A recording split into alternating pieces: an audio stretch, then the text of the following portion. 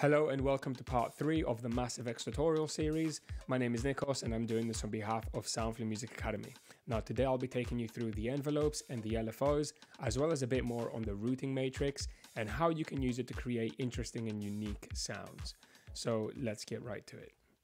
So over here, we've got the routing matrix. Now, unlike the filters and the insert effects and the oscillators, in order to actually get an envelope to do something, you don't have to route it anywhere from the routing page. The modulators, the envelopes and the LFOs and the tracking modulators and the performers, they're going to do something to the sound without having to touch the routing matrix. Now, by default, envelope 1 is routed to the volume of the entire synth, the amplitude of the whole synth. So for example, if I turn down the sustain and decrease the decay, we're going to get a very quick, sharp, stabby sound. Just like that. Let me increase the cutoff a bit. If I increase the sustain, we've got a sustained sound. The release, attack. Now let me just, just in case you don't know what ADSR and all these controls do, let me walk you through them quickly. Attack is how long it takes for the amplitude to go from zero, from nothing, to full. So if I turn up the attack, it's going to take a while for the sound to build up. And you can actually see that represented here in this static graph. I wish it was a moving graph so we could actually visually see what we're doing, but at least you can still see this is the attack. Attack at zero, amplitude all the way up immediately. Attack further up, slowly raising. Now, I said it takes, I said it's how long it takes for the amplitude to go from zero to full. This is somewhat true, but in massive, massive X, you can turn down the peak, which would turn down how high the level reaches at the end of the attack stage. Okay, now it still sounded like it was the same because the sustain is all the way up. And the sustain is what happens when you're holding down the note at the end of the attack and the decay period. So if I turn the sustain all the way down, have a listen now. See how the higher the peak, the higher the amplitude gets. The shape is simply whether it's convex or concave. So for example, the shape would change the attack to this or this.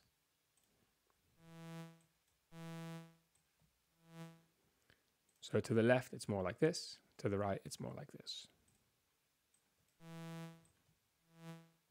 And in the middle, it's linear. The decay is how long it takes for the sound to go from the end of the attack stage. So if the peak is at the top, it would be maximum amplitude down to the sustain stage. So if the sustain is at zero, the sound will go down to zero amplitude. If the sustain is turned up, it will get to that level and then stay there as long as you're holding down the note. So if I turn up the sustain, the volume increases or reduces. As long as I'm holding down the note. Now, as soon as I let go of the note, it reaches the release stage.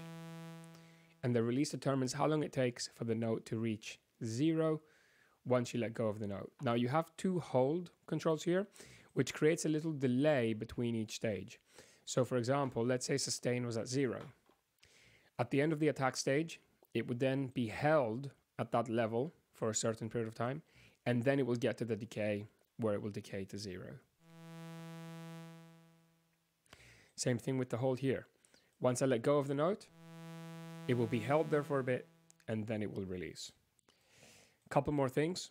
You've got velocity here, which basically means if I turn this up, the harder I play the note, so the higher the velocity is, the higher, the more sustain you would get, first of all. So if sustain was here, and attack is at zero, if I play the note with 40% velocity, that's the level, 100%, the level increases. Keep in mind the decay and the attack stay the same, but it's the sustain that increases. Okay, very cool. So this what what this can do for you, by the way, is make it sound more like you're playing a real instrument. as though you're actually, you know, a real performer, a real instrumentalist, the harder he would hit the string or the key, the louder the instrument would be. The delay is basically just delaying the start of the envelope. So if I've got the delay there, I would pay attention to the QWERTY keyboard over here. I play the key and then the sound comes in. It's delayed. Now you might think this isn't very useful for the volume. Of course not. For the amp envelope, it's not very useful. But let's say we had envelope 2 turning up the volume of oscillator 2. So yes, that's right. I, I grabbed this um, crosshair, dragged it to any one of these modulation boxes, and then I clicked and dragged up or down to determine the amount of modulation. In the routing, let's route oscillator 2 to the filter. And now what's going to happen is, depending on the settings on this envelope, oscillator 2 will come in. Now if I delay the envelope, oscillator 2 won't play until that delay time is over. There you go, and you heard it coming in a second or so later. Have a listen again, and let's have a look at it. And that's where it comes in. Fantastic. Okay, this modulation envelope is exactly the same. In fact, the amp envelope and the modulation envelope and modulator 3 can all be assigned to the norm, to the same modulation envelope. But the idea is that the amp envelope controls just your amplitude, the volume of the synth. You use the rest, the other envelopes, to modulate parameters. For example, I could modulate the filter frequency, the cutoff, as it's also known as, so that it opens immediately as soon as you press the note and then closes. So let me show you what that would be. Sustain at zero, attack at zero, decay pretty quick. Turn the delay down. There you go. I can change the shape. So remember that makes it convex and concave or linear, which is really cool. The old massive synth, well, the previous massive, not massive X, you couldn't change the shape of the decay and the attack stages. Very cool. Now, a couple more things you should be aware of is here. First of all, as it is now, every new note I play, the envelope resets. If I put it in mono, if I play the first note, the envelope will activate. As long as I'm holding down that note, when I play the second note, the envelope will not activate, hence the word mono. If I let go of the notes and play a new note, it will activate again. Note off, it's pretty cool. The envelope doesn't activate when you play the note, but it activates when you let go of the note. So if you want a little buzz every time you let go of the note, can be pretty nice. Okay. And reset just make sure that it resets the envelope from the very beginning. Every time you play a new note, even if you play multiple notes at the same time. A couple more things. Let's go back to the amp envelope. I'm going to take this away, turn it up. Gate and one shot. So gate is every time you play a note, the envelope will activate. When you let go of the note, it will get to the release stage. One shot means even if I just tap on the note, it will be sustained and it will finish at its own accord when the envelope actually goes through every stage. So even if I just tap the note, it's going to go through every stage. Okay, and finally, I just want to show you the loop gate and loop function. So the way this works is the same way as an LFO. So if I turn loop gate, uh, loop gate on and it's modulating the filter frequency, you're going to hear it basically repeating the decay cycle again and again and again, the decay stage.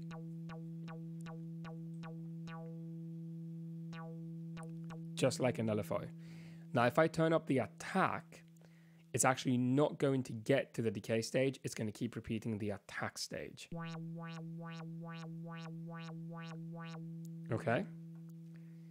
Now, if I turn down the attack and up the, the sustain, it's not going to loop the decay stage either. It's just going to sustain. So the sustain must be turned down, and the attack must be turned down in order for the decay stage to be looped, or the attack must be turned up in order for the attack stage to be looped. But imagine automating these controls. Can be really, really interesting. For example,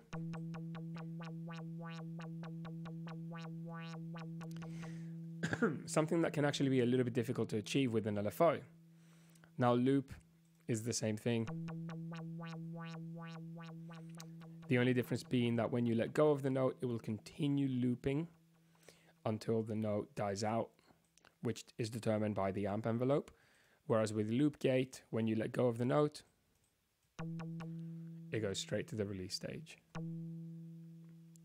Okay. Now, onto the exciter envelope. The exciter envelope is can can seem quite complicated. A lot of people have wondered what it does, but it's actually really simple.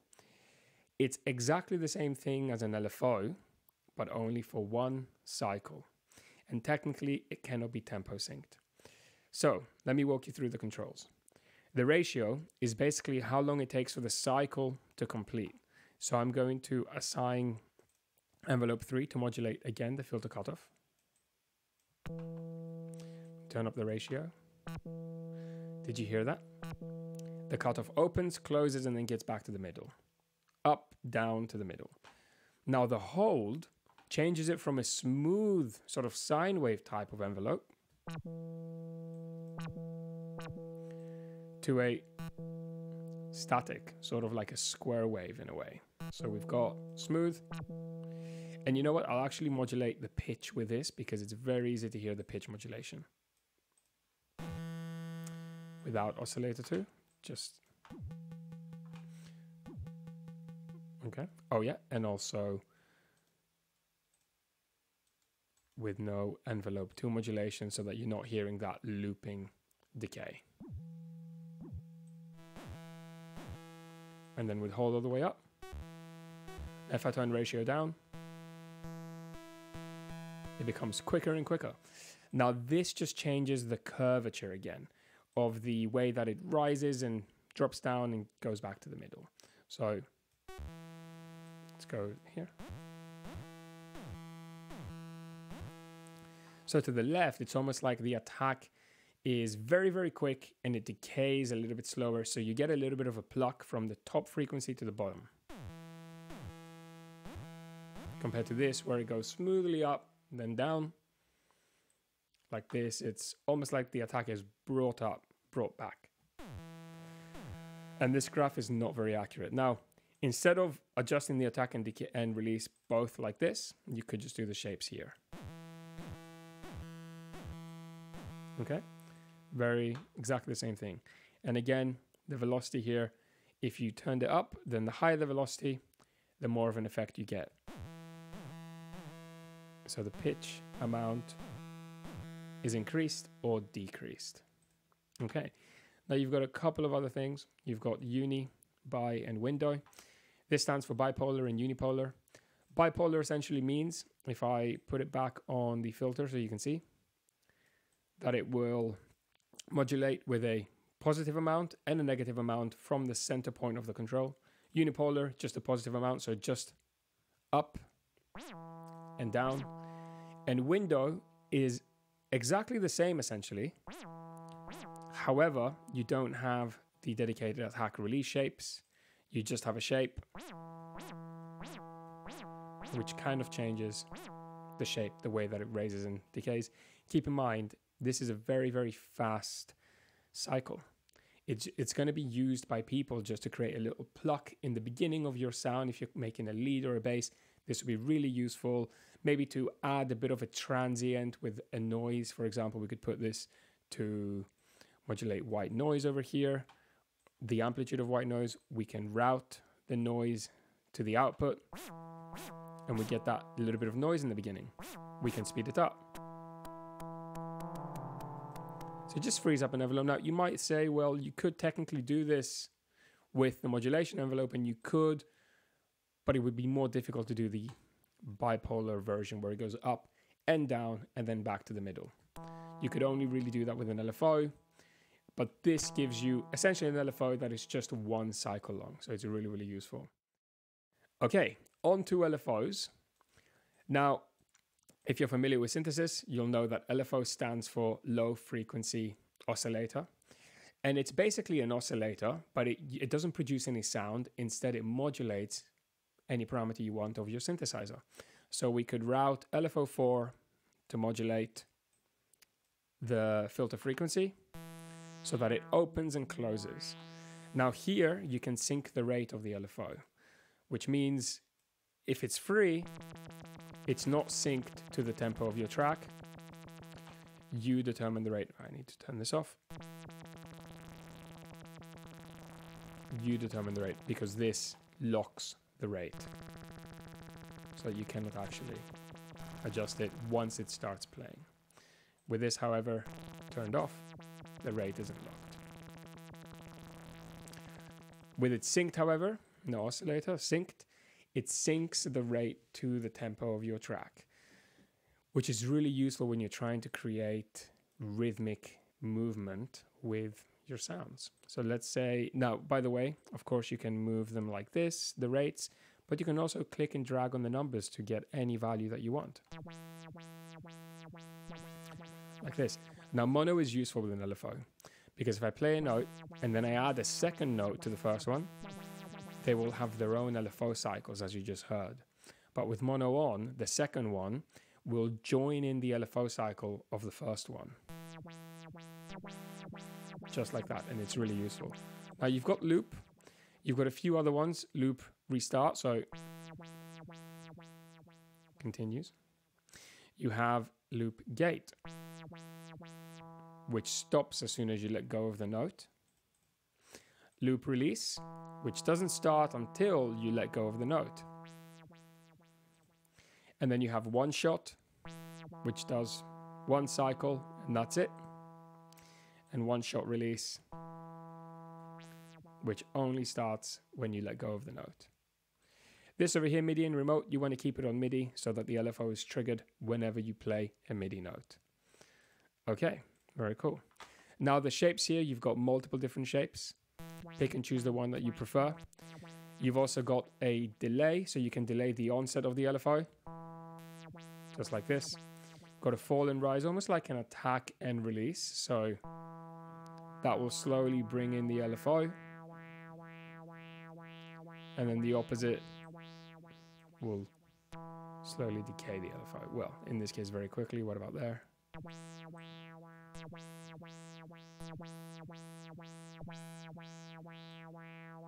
There you go. So it slowly stops the LFO function. In the middle, it's inactive. Okay, it's actually demonstrated here by graph decay. Now you've got bipolar, unipolar, and uni-Z.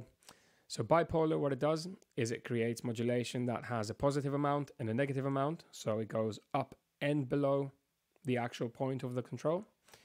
With uh, pitch, for example, this would pitch it up 14 semitones and 14 semitones down. Whereas unipolar would be just positive modulation. It wouldn't go below, only above the point.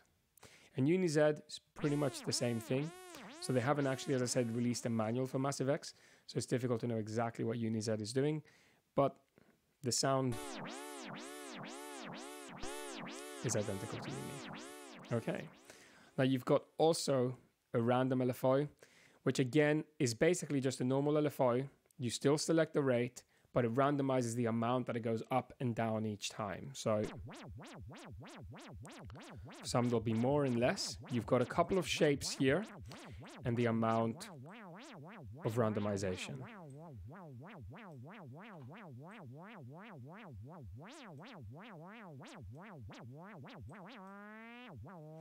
So this is how high the, the threshold for the amount of amp um, randomization. So let's say this is the highest peak and this is the lowest peak.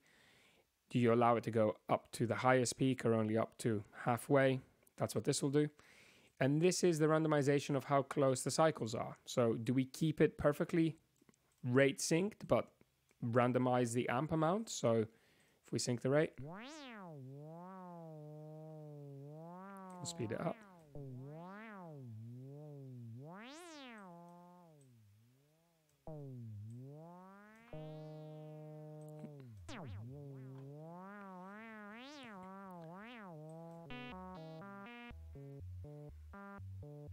Okay.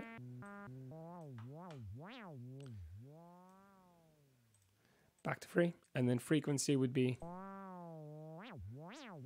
changing the actual randomization of how close those cycles are together.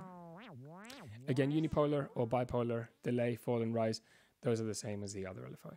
Finally, one other thing I want to mention is over here, I mentioned before that on loop gate, the LFO restarted cycle whenever you play a new note. Now, this is really important because if it's only on loop, then the LFO will continue cycling, oscillating in the background, even if you're not actually playing a sound. Which means whenever you play a sound, the LFO will start wherever it is in its current cycle, and you can get very inconsistent results, such as this. See how every note is different because the filter position is at a different point, and everything else the LFO is modulating is at a different point. However, if I turn loop gate on, then every time I play a new note, the LFO will restart from the beginning of its cycle creating a consistent sound. Now, you may have noticed that there is some changes going on. This is because I've actually routed LFO5 to over here. So I've selected Caspatic uh, wavetable, read it through the Gorilla mode, and I'm modulating the Gorilla mode overtones. Very slowly, well, quite slowly, with this shape as well, but only on loop, which means if I'm playing a repeating note, every time it repeats, LFO5, modulator 5, will have a different point in the cycle that it starts. So it will continue modulating up and down, which is nice if you want to create interest and movement to your tracks. So if I was to simply create a few notes here, you can hear that morphing occurring. I could also add this to this LFO, modulate it slowly to this filter. Okay, but the ones that are important that need to reset and be the same at the beginning of every note, you must set to loop gate, not loop. Fantastic. I hope this video has been useful and you've learned something. Please go and try and apply everything you've learned so far into your own synthesis. Um, and remember to use the routing matrix because through the routing matrix, you can get some really interesting results.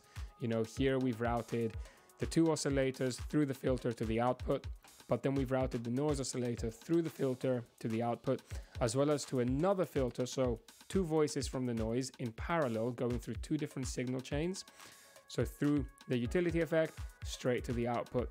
We're also getting oscillator 2 to phase modulate oscillator 1. You know, the capabilities are endless. You know, try and come up with your own, try and try out different combinations and see what sounds you get out of them. So yeah, as I said, I hope this video has been useful and you've learned something. In the next video, we're going to cover a lot more, going into the performers and the key trackings as well, which is going to be really cool. Um, and keep in mind that if you want to learn more and you live close to London or Milton Keynes or Surrey, then we offer one-to-one DJ music production courses where at the end of the course as well, you get real world opportunities. So we took 22 of our DJ graduates uh, in Ibiza in June, and we did over 20 gigs where we played in Ibiza Rocks Bar, in Pure, in Es Paradis, and Eden. And a lot of them actually got scouted and they got invited to go back and get paid to DJ, which is absolutely amazing to see people that have sort of started from scratch and gotten to that level. So thank you for watching. If you enjoyed the video, give it a thumbs up and see you on the next one. Bye bye.